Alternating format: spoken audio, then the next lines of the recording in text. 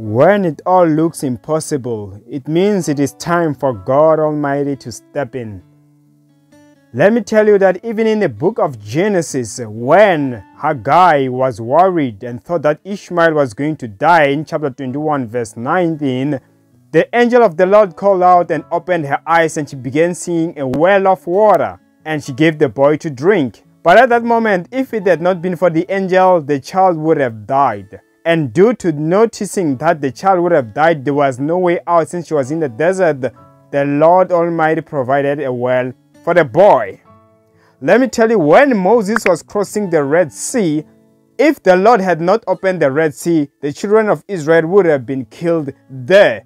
But just because the Lord God Almighty knew there was no way out, He made a way, He performed perform the miracle so that the children of Israel could cross over and survive. That is when he performed that miracle.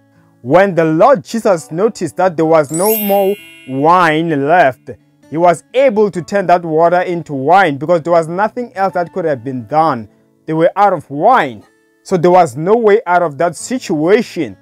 When the Lord Jesus noticed that there was no boat to cross over the ocean with, he had to walk on water because he had to cross that place. He had to cross that ocean and there was no any other way. So a miracle had to happen.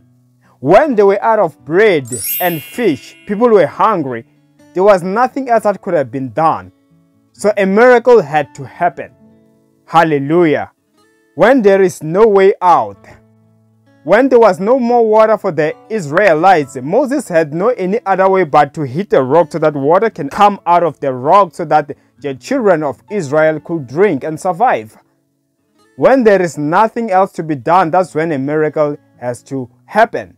So when you're in a tight situation, just know that it's a situation that is going to allow the Lord to be the Lord God Almighty Himself. So be happy whenever you come across situations which seems impossible to come out from because that is a time where the Lord will have to perform His miracles.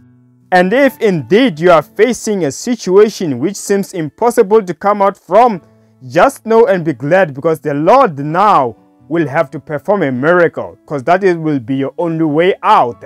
So be glad because this is the time for your miracles. Hallelujah.